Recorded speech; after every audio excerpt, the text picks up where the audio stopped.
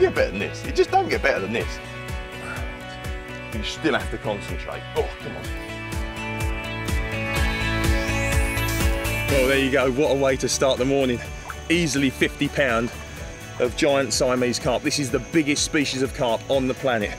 Quite a long time ago, they thought they were impossible to catch because in the Chao Phraya and the Mekong River, which these originate from, they're filter feeders. And so to actually get a bite on rod line was nigh on impossible. But they've started to see the pellet that goes in here as natural food. And check this out. That is an absolute minter. And I'll tell you what, that is a very heavy fish.